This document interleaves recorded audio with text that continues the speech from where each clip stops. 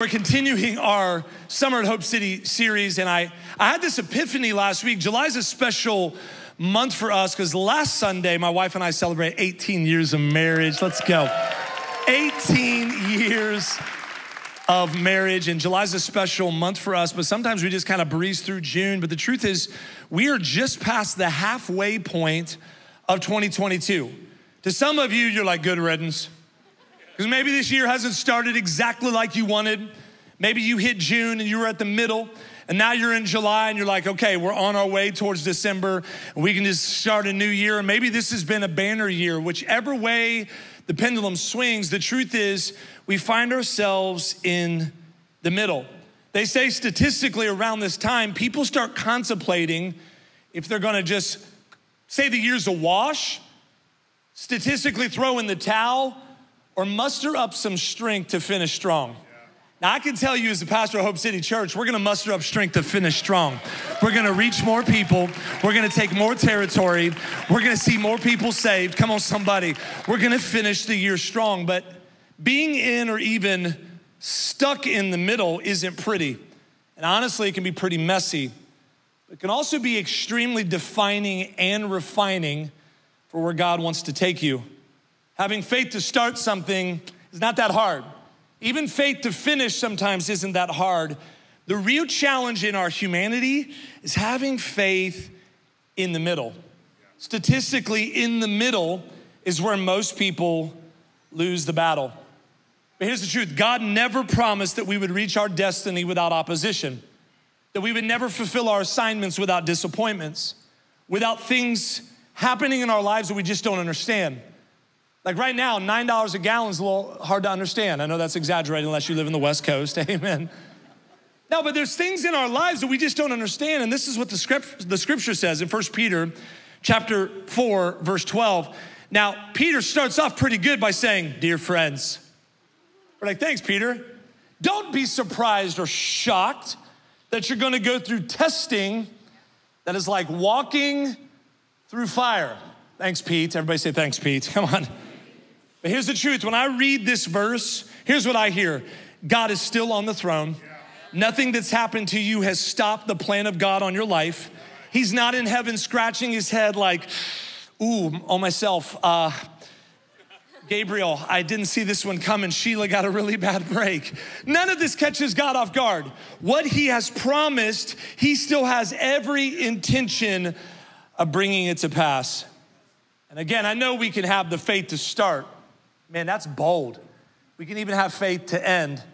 My question for us this weekend, if you're taking down notes, ask yourself this question Do I have faith in the middle? So we all find ourselves in the middle.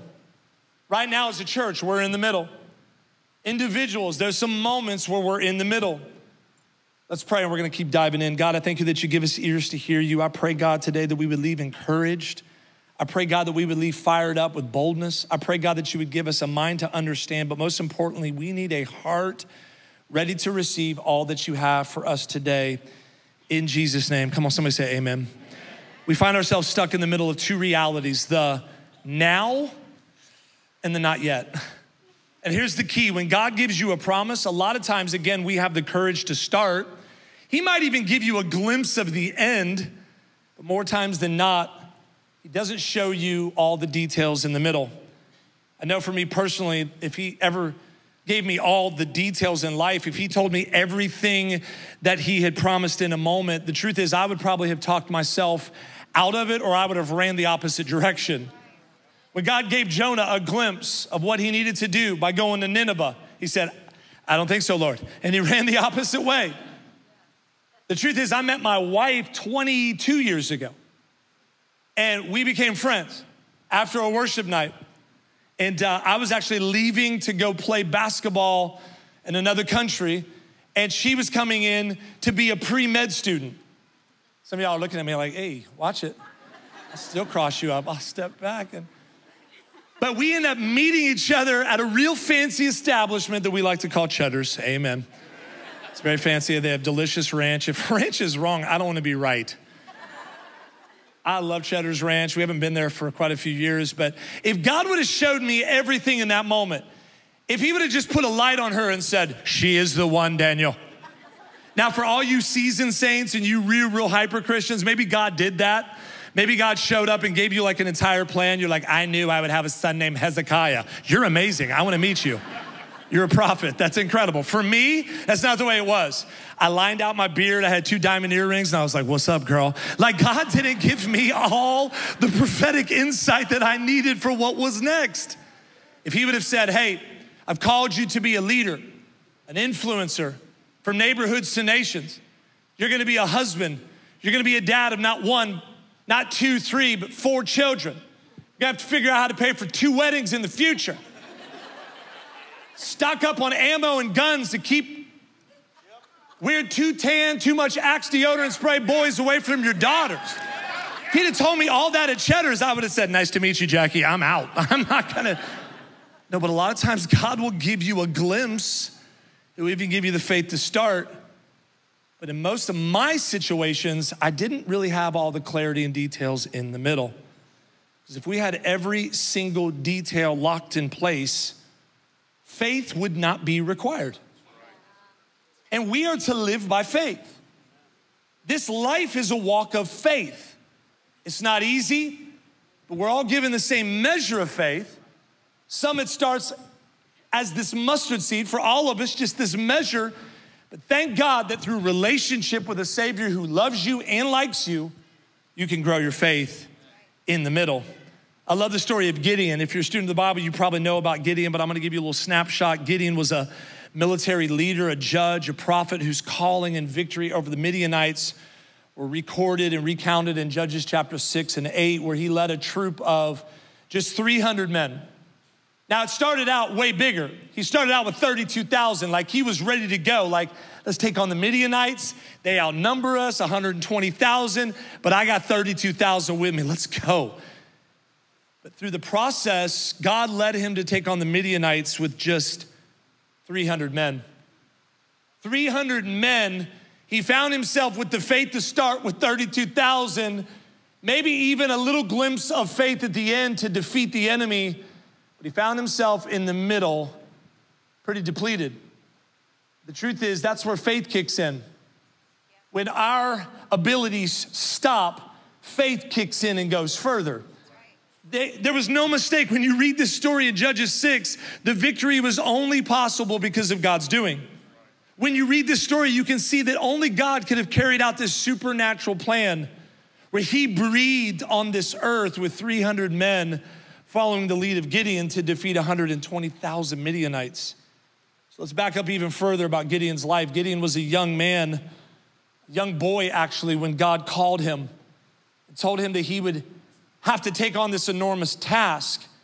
Now, Gideon immediately kind of postured himself in the humanity perspective, which is what we would do, where he didn't understand what God was trying to tell him because he was looking at his qualifications and what he was disqualified in. But here's the truth when God calls you, he qualifies you. He doesn't qualify the called, he calls the qualified. So Gideon is looking at this saying, hey, I haven't done enough deeds. I haven't done enough things. And God's saying, hey, it's not about the quality of the deeds you've done, it's about the quality of your heart. He's looking for willing hearts. If he was looking for perfection and perfect people, this room would be empty. All of our campuses would be empty. So let me invite you to Hope City, a church where you don't have to be perfect. You can show up blemished and fragile and wounded, but here's what I know when Jesus gets in the way of your storm, everything changes. You will walk out better. You will walk out healed. You'll walk out with stitches where you've been putting band aids. So Gideon's saying, You sure, Lord, you want to use me? So, Judges 6, again, I encourage you to go back, be a student of the Bible, reread, out, reread this story. But Israel, I'll give you another snapshot, was in trouble. God approaches Gideon, declaring him, I love this, a declarative statement. You are a mighty warrior, calling him to save his people from the Midianites. Instantly, you see this, this caveat of frustration. You see this tug of war between Gideon and the voice of God, much like we probably do in our humanity. Gideon complained about the assignment and the call. He instantly started complaining. I'll show you Judges chapter 6, verse 12 through 16. Starts off really good. The angel of the Lord appeared to Gideon. He said, The Lord is with you. Man, that's good. Mighty warrior. Come on, that sounds like a t shirt. The Lord is with you, mighty warrior. Like it's such a declarative moment. And then Gideon immediately falls in the trap of humanity and says, Pardon me, my Lord. Gideon replied, If the Lord is with us, why has all of this happened to us? Where are all his wonders that our ancestors told us about? Did not the Lord bring us up out of Egypt? But now the Lord has abandoned us and given us to the hand of the Midians. Verse 14 says, The Lord turned to him and said, Go, this is another declarative moment, go in the strength you have and save Israel from Midian's hand. It's amazing when the answer then asks you a question. I love how God, all powerful, the creator of the universe, came down to Gideon's level and says and asks him this Am I not the one who is sending you? Am I not the one who is sending you? But then, verse 15, it shifts back to Gideon. He says, Pardon me, my Lord. And Gideon said, How can I save Israel? Watch, he made it about himself. My clan's the weakest in Manasseh. I'm the least in my family, just so many excuses. But then watch how it shifts back to the Lord. The Lord answered, I will be with you. I feel like somebody needs to grab a hold of that today.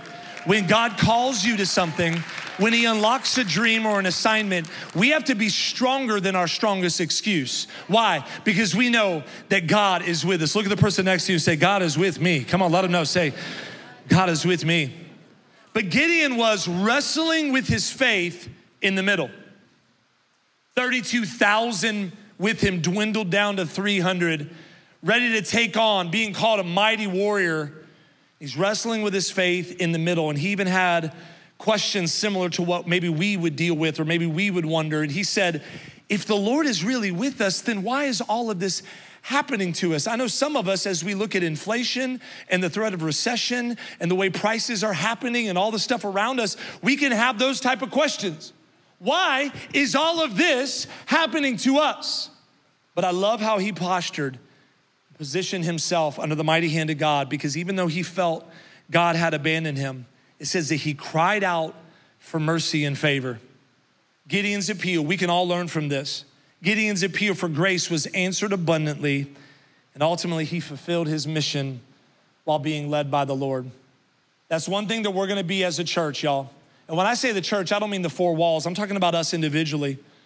As a church, we're gonna rise up with audacious faith and say, We, we choose to be led by you, Lord. Come on, do y'all believe that today? We're gonna continue to choose to be led by the Lord, not what we see with our eyes, not by the wind and the waves, not the things that are trying to be heavy on us, but we're choosing to replace Isaiah 61. We're going to replace heaviness and burdens with a garment of praise. We're going to continue to choose to be led by the Lord. Somebody say amen. Come on.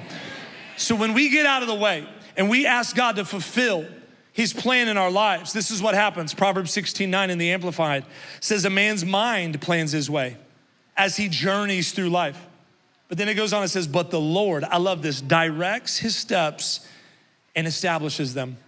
See, when you allow the Lord to direct your steps, when you allow the Lord to truly direct where you're going, He also gives you the help of the helper. John 14, 26, the Holy Spirit is like built in supernatural GPS. And the truth about GPS, uh, Waze or Google Maps, or some of you old school saints, you print off MapQuest. Like, did you print off the map? Did you print it off? Like, lay it on the hood of your car. You're like, there's actually no road here. Do y'all remember that when we had to print off MapQuest? Eh, come on, I'm not the only one. Okay, thank God. Gee, mini Christmas. Some of y'all were like, not me. I don't want to admit that. I don't want my kids to know that. But we have this supernatural built in GPS from the Lord where we're keeping our eyes on the destination, but there are always things that happen in the middle traffic, Houston.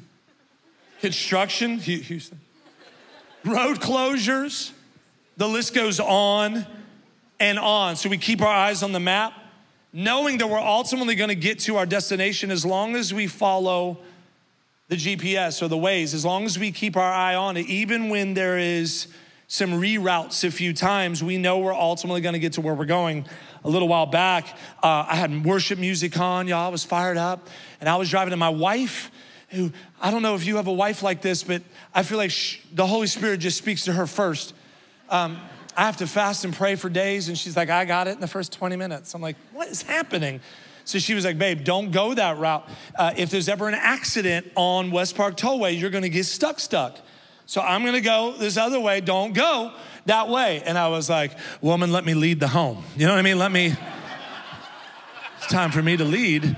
I'm gonna go. So I got in my truck, y'all. I've got worship on. I'm driving, and, and, it keeps trying to reroute me because it's red. There's a whole block of red, and I'm like, I rebuke the red off the map, God. I'm gonna keep on moving forward. And then I ended up. This is what happened. I ended up stuck right here um, for uh, 90 minutes. 90 it was a parking lot. People got out. They were having like lunch. People were talking to people like, hey, what are you doing? Want to play cards? Like we were out. The fire truck couldn't even get to the wreck. And I was stuck there. And she kept calling me saying, where are you? Because I'm tracking you and you look like you're sitting still. I'm like, you need to just. Where are you at? She's like, I'm in the meeting. I made it. I've been sitting here. Everything is good. I had a coffee for you. The ice is melted. I'm like, okay. See, the start is often fun, and even the end can be exciting, but the middle can, can be messy. we're all on a journey. There's things that we're believing for. You know, God plants the seed, but over time it gets discouraging, and you start getting discouraged and think it's never gonna happen. There's just way too many obstacles. But I believe that there's somebody in this room or watching today online at one of our locations. I believe that God wants you to hear this today, that He wants to breathe new life into your dreams that what he's promised is already on its way, that the process has already been started, that the healing, the right relationships, that business, that dream, that breakthrough is already on its way. Come on, look at the person next to you and say, Because God is with me, I know his promise is on the way. Come on. We're gonna grow in the middle, and we're gonna trust that he's directing our steps. Here's the truth we have to remain sensitive because there's a lot of noise, there's a lot of things happening. There's a lot of negativity. Some of y'all, if you'll just go to your Apple and you'll just check out your screen time, you'll see how many hours you're spending on unnecessary stuff. You want to hear the voice of God, you have to get closer to his heart. You want to know as he's planning and leading your steps, and he has to reroute you around some situations. We have to have faith in the middle. Gideon, again, had no idea that God, God himself was going to dwindle 32,000 men that were following him down to 300 to take on the 120,000 Midianites. No, he had to have faith in the middle. David had to have faith in the middle because God had promised him that he would be king, but did not tell him, just kind of left this detail out that he would have to take on a giant twice his size. How many of y'all have ever had to fight something or face something in faith and you're like, God, couldn't you have warned me about this? No, David and Gideon both had to have faith. While Saul was chasing David through the desert to try to kill him, he didn't know the details, but he trusted God in the middle. When you study the great heroes of faith, one common denominator that you'll find in all of their lives is they had to have faith in the middle. When it looked impossible, when the promise seemed a long way off, they had to keep moving, recognizing it was a part of the process in the plan. And here's the truth, y'all the fight of faith is a fight. Yeah. We've heard it. First Timothy chapter 6 talks about fighting the good fight of faith. Sometimes that walk of faith is a fight. How many y'all have experienced that? That sometimes walking in faith is a fight. But the truth is, you don't have to fight it on your own. The truth is, we can choose to trust the one who says, Hey, I'm fighting for you. Grow in the middle. Don't let this time be a wasted time. Let me be near to your heart.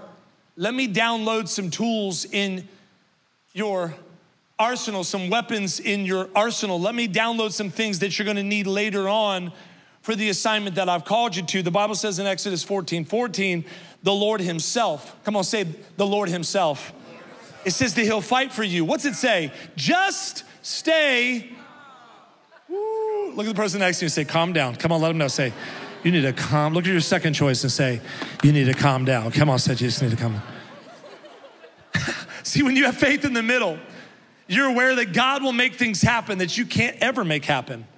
And if you allow God to really steer your life, I'm telling you, He'll be all the way up in the middle of all of it.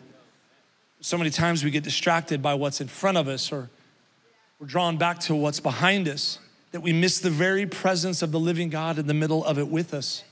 Y'all, He's the God of the I am, not the God of just the I was. He's the same yesterday, today, and forever. He's not the God of I hope he will be. No, he's the God of the I'm right now in the middle of it with you, in the middle of the marriage, in the middle of that financial disaster, in the middle of that addiction, in the middle of that family dynamic, in the middle of that diagnosis. He's the God of miracles that will meet you in the middle. I feel like somebody should shout. I feel fired up. Probably because we have premium air conditioning. I feel it. Amen. Again, he's not just the God of the start. Because we can muster up that strength to start, that audacious faith to be like, I got a drink. I'm gonna go on Shark Tank. About halfway through, you're like, I don't know what happened. Couldn't get anybody to like it. I've given up on it. Now, we can even have faith to gain a little strength to finish strong. But again, my challenge for you this weekend when the odds are stacked against you, when the situation seems impossible, when opposition feels so much stronger, will you have faith in the middle? Because this is a promise from God to us as his kids. Isaiah chapter 43, verse 2 When you go through deep waters, I will be with you. When you go through rivers of difficulty, you will not drown. When you walk through the fire of oppression, you will not burn up. The flames will not consume you because God is with you in the middle. If you're taking down notes, the season in the middle should produce some things in our lives. Number one, I want you to write this down. The middle season should produce gratitude in your life. Everybody put a big smile on, come on. Again, that joy of the Lord, Nehemiah 8:10. It's not your joy, it's the joy from God to you and through you. This middle season that you're in should produce sincere gratitude because I'm grateful that He's never ran out on me. I'm grateful that His goodness and mercy never stopped chasing me. I'm grateful that I woke up again today and I took another breath. Even if I'm in the middle, I choose to worship Him because I'm grateful. The season of the middle should produce gratitude in your life. Because I don't know about you, but He's brought me so far. Wave at me if you know He's brought you so far. And he didn't just bring you this far to bring you this far. No, he's a God of more than enough, a God of abundance, a God of blessing, a God of supernatural sustaining power. He is the God that won't just leave you and say, ah, I got to tend to others. He's a personal God, not just the creator of the universe that said stars here and moon here and water stop here. Yes, he's all of those things, but all throughout the Bible, it also says that he's a personal God, that he's near to the brokenhearted, that he's close to us. I've said this many times before there's a reason why our windshield is bigger than our rearview mirror. God is far more interested in our future than our past. And I don't know about you, but I can shout from the rooftops that Jesus is the only reason I've made it this far. I'm still standing and I'm still breathing, and my family still has hope, and we have a purpose because Jesus has brought me this far. Some of y'all woke up again today. You should pinch yourself and say, I'm still here. Come on. I've said this often, but I need to say it as a position of repetition that there's mercy for every mistake. Maybe you came in duct taped back together. Maybe you came in because somebody convinced you that they would buy you lunch if you would just show up. There's mercy for every mistake. You didn't know they were taking you to Taco Bell. That's not, there's enough grace for every goof up. 100%. You've survived 100% of your worst days because Jesus never gave up on you. Look at the person next to you and say, I'm not who I used to be. Come on, I'm not who I used to be. I think so many times the enemy or your critics People try to put you back to where you used to be. When we first moved to Texas, we got here as fast as we could. Uh, when we first moved to Texas, I forwarded, like you do when you move, I forwarded all of our mail. And, and so uh, the owner of the house that we were in before, he, he calls me one day and he says, Hey, man, I'm getting harassed. We're literally getting harassed. We're getting a, a bill every week from a medical clinic here for you. And I said, What are you talking about? I forwarded all my mail. He said, Not this one. I mean, they are, it's, it's second notice and then it's third notice and then it's, it's red now. I said, Why didn't you send it to me? He said, Well, I didn't know. I said, What? We're down to the third and the fourth notice. Like, I'm thinking this is thousands of dollars. And I, uh, we hadn't really done a lot of medical stuff other than like a, my daughter cut herself. We had to get like a tetanus shot or something. And so I'm like, I can't even imagine what this is. So he said, Well, I'm putting an envelope and I'm gonna overnight it to you. He spends like $47 to send me this bill. Y'all, I am telling Jackie, there's a bill coming. I think it's gotta be high. I don't know. It's gotta be expensive. They're harassing, they're literally showing up almost. Uh, camping out outside of our old house. So I, I, I opened it up. It's for $23.89. I'm like, this can't be right. So I call, and the lady's like, uh, "Can I get your account number?" And I tell her, she's like, "Oh, I got to send you to our collections department." I said, "This is this has gotten really real. This has gotten super real." It had been months. They said, "Mr. Groves, we have been trying to get a hold of you for months." And I said, I will, uh, I will, I will pay you twenty-three dollars and eighty-nine cents right now. She said, Well, this is a, uh, uh, this call is being uh, recorded for. Uh, and I'm saying, You don't even need to record it. I'm gonna pay this bill. It is. I would have paid it if I'd have known about it. But here's what I told him: I need you to make a note in your system because I'm not where I used to be. Woo, I'm somewhere else. And whenever the enemy tries to get in your head, or people or critics try to convince you that you're you where you used to be or who you used to be, you need to, with boldness and authority, say, Oh, no, no, no, no. I'm not there anymore. I'm somewhere else. The thing that used to hold me captive, the thing that used to hold me bound, the thing that I used to struggle with, I'm not there anymore. I'm somewhere else. The money I used to mismanage, the issue that used to cause me to live reckless, I'm not where I used to be. Come on, somebody say it out loud. I'm somewhere else. I'm somewhere else. I don't live there anymore. Stop trying to harass me. Just send it to where I am now. Because I'm not where I used to be. The enemy wants to try to hold you captive. He wants to try to tell you that you're going to get stuck right here in the middle. But if you look back and you remind the devil, yeah, yeah, yeah, but God brought me out of that. And then he showed up and fought for me here. I might be here in the middle, but he provided for me there. I might be here in the middle, but he healed me here. I might be right here in the middle, but he showed up and fought for me here. It causes great faith to rise in you to know where you're going. Because here's the truth faith will put you in places later that your mind can't comprehend right now. And when you live by faith, and you walk by faith and not by sight, you can see, everybody close your eyes real quick. You can see where you're going. Come on, see that dream unfolding. See that business coming alive. See that marriage restored. See, see that financial disaster turn around. See you ringing that bell at MD Anderson because you're cancer free. Come on, see, see that diagnosis reversing. See the doctor saying, I don't know what happened, but the ultrasound came back and you no longer have a clogged artery. Come on, see it, see it in faith. We walk by faith, not by sight, but we do have a glimpse in the faith. The Bible says in Isaiah chapter 43, verse 18 and 19, look at me, but the Lord says, watch this, do not cling to the events of the past or dwell on what happened long ago. Watch for the new thing I'm gonna do, and it's already happening. See, you might be in the middle, but God has the incredible ability to say, hey, there's a new thing that's starting and it's already begun. I will make a road through the wilderness and give you streams of water there. The definition of the word cling is to stick to, to hold to tightly.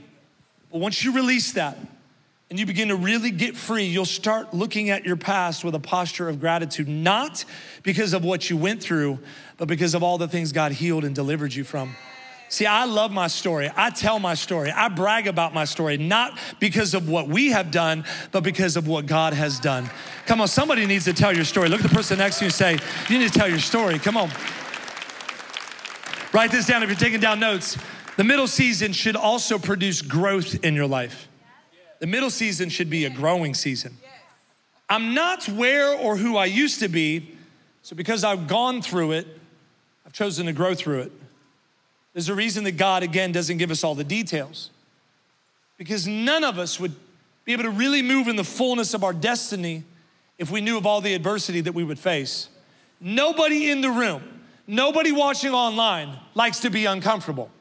We proved that last week when it was 86 degrees in the room. Y'all were fans. Some of y'all were, if I'd have had a hairpiece on, I'd have taken it off and used it as a fan. Nobody wants to be uncomfortable. Our camp this last week, we had air in certain areas of camp, but at the service, it, we were like, God, I thank you for the cool presence of your spirit to breathe in the room. God, show up and breathe. It was hot. Who likes to be uncomfortable? Nobody. And if God said, hey, I've got an incredible plan for your life, but you're gonna face adversity, you're gonna have some uncomfortable seasons, you're even gonna feel stuck in the middle, you'd probably say, God, pick somebody else. The truth is, opposition and some disappointments will cause you to stretch your faith and ultimately grow some spiritual muscles. The Bible says in James chapter 1 verse 2 and 3, "Dear brothers and sisters, when troubles of any kind come your way, consider it an opportunity for great joy." Why? For you know that when your faith is tested, your endurance has a chance to grow. Come on, look at the person next to you and say, I'm still growing. Come on. I'm still growing. Second Peter chapter 3 verse 18 says, "Let the gift of undeserved grace and the understanding that comes from our Lord and Savior Jesus Christ help you keep on growing." Every day you can grow in the middle. But you have to be very careful to not let negative people, past critics or voices, people that are around you to convince you that they haven't seen you grow, that there's not positivity happening in your life. Because if you're not careful and you let that in, you'll get stuck where you're no longer grateful, you're no longer growing. So today, I want us to hear this.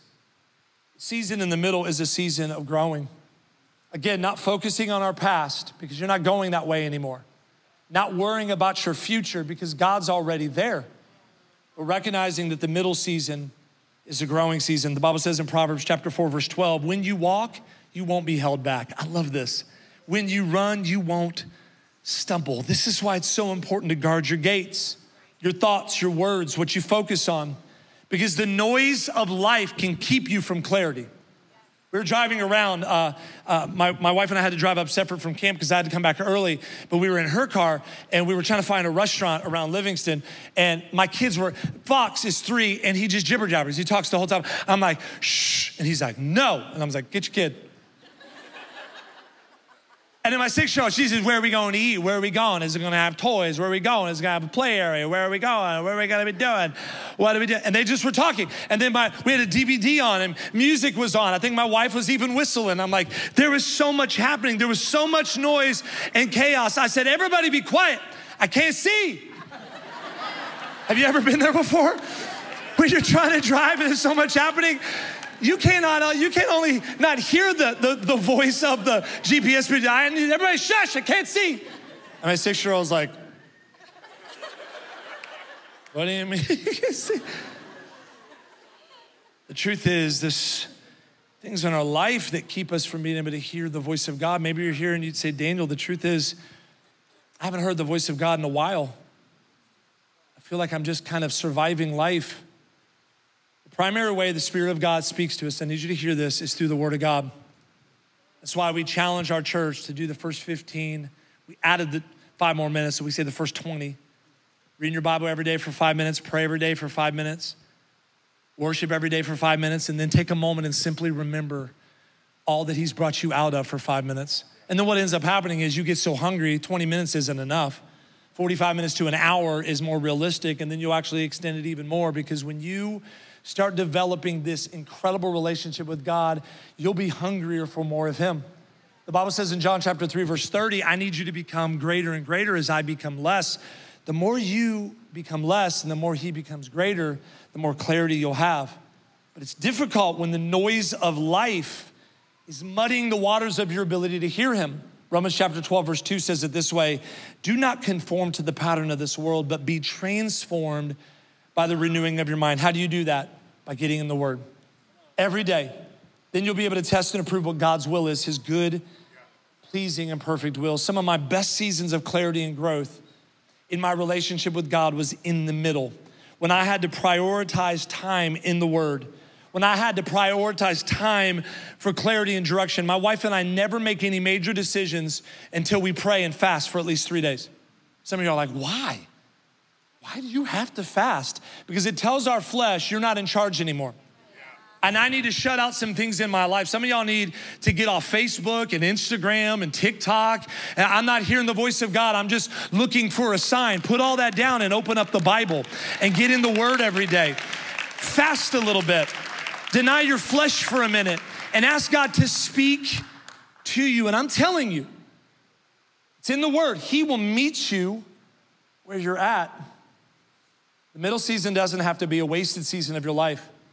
Again, some of the most incredible times of sensitivity was found in the presence of God in the middle of the waiting, in the middle of the season.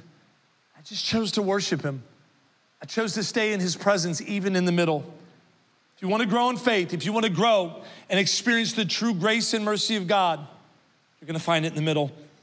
The enemy will try to convince you and discourage you that the middle is where you're always going to be. Watch this faith grows in the middle. But faith does not settle in the middle. Faith does not get stuck in the middle. So as you grow, it's like supernatural four wheel drive. I want you to write this down. Number three, the middle season does not mean God is not working. Somebody needs to hear that today. Because maybe you haven't heard from Him in a while. Maybe you have been struggling to read your Bible. Maybe even in worship earlier, you just had tough time entering in. The middle season does not mean God is not working, but in our humanity, when something is delayed, we automatically assume it's denied.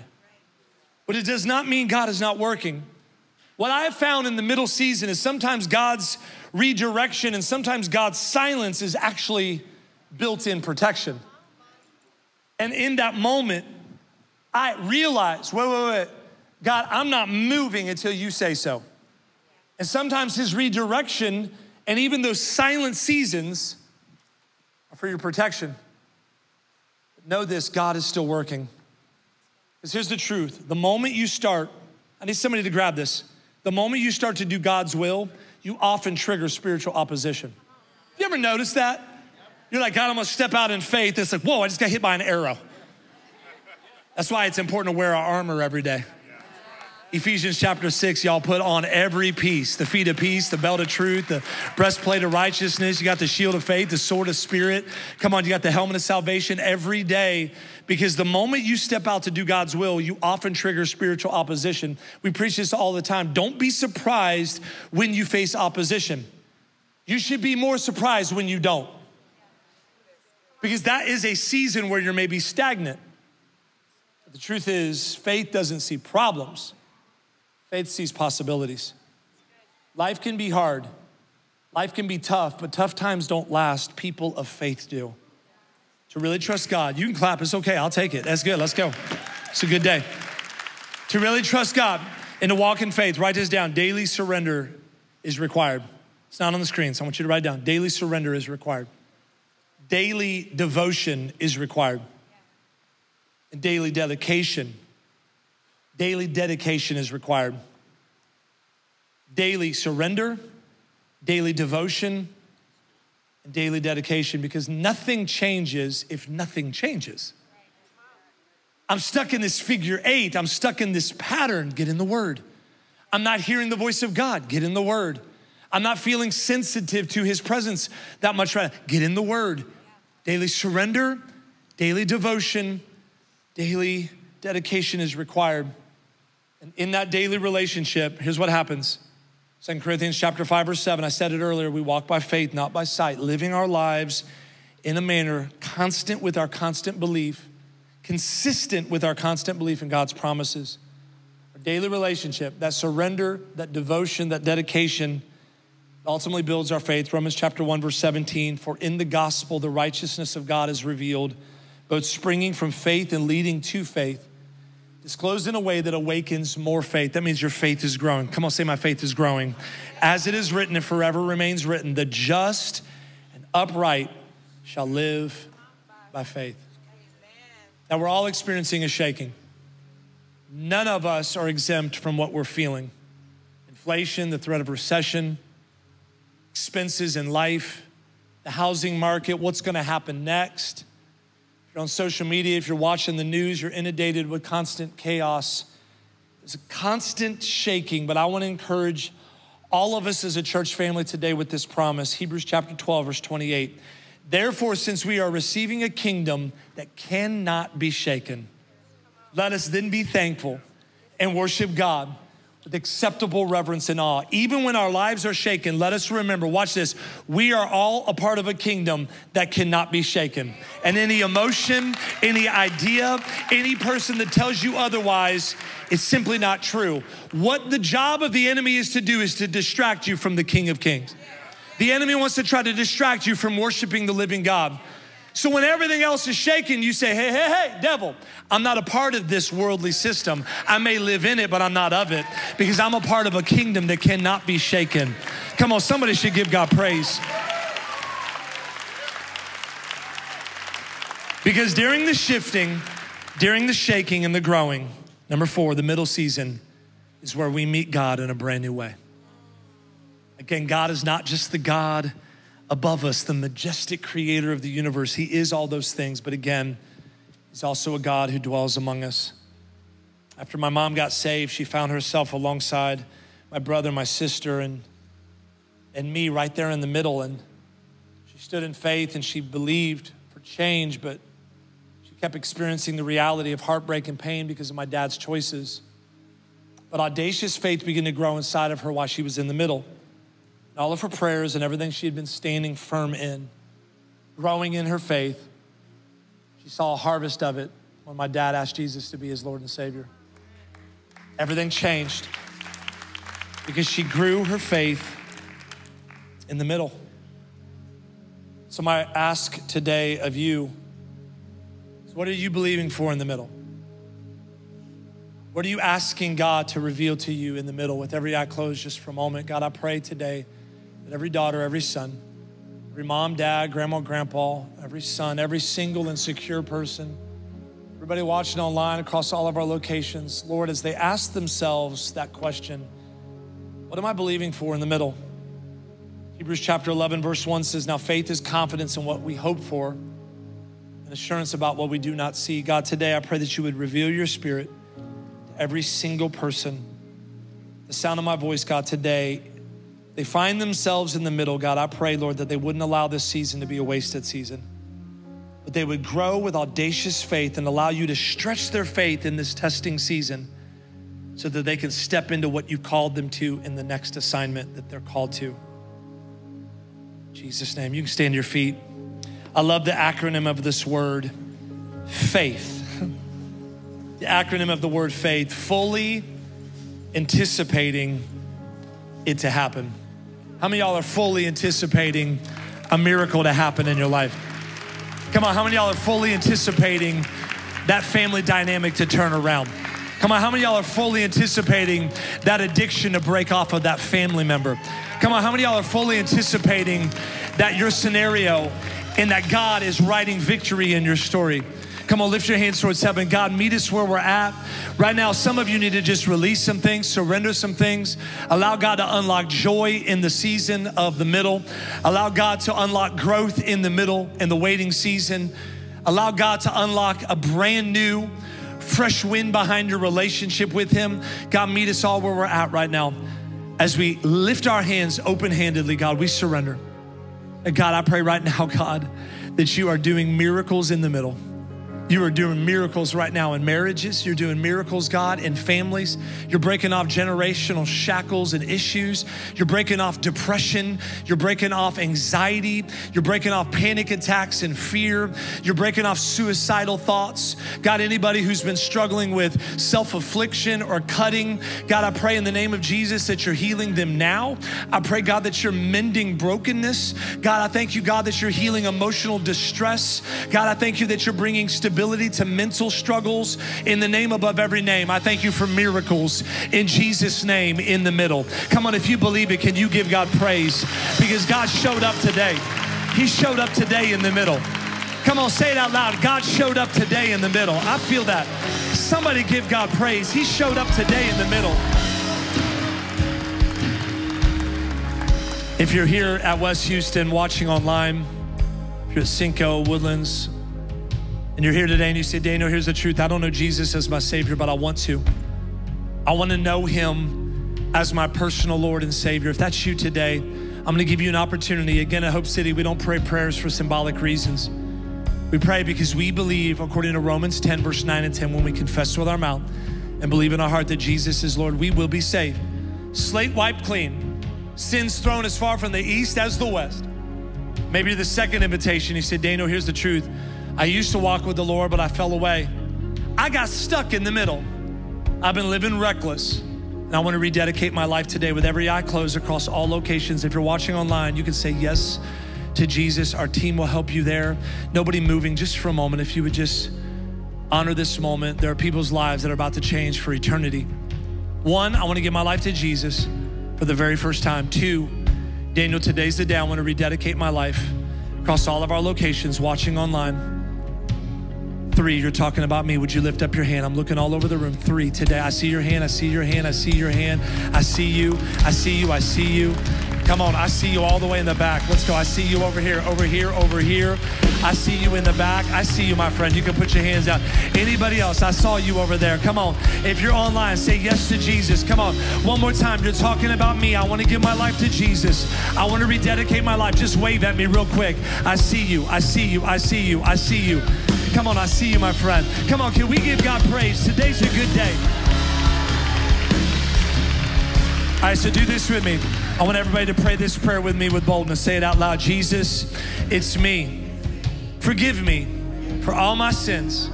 I believe you hung on a cross, shed your blood for my life, even though I didn't deserve it.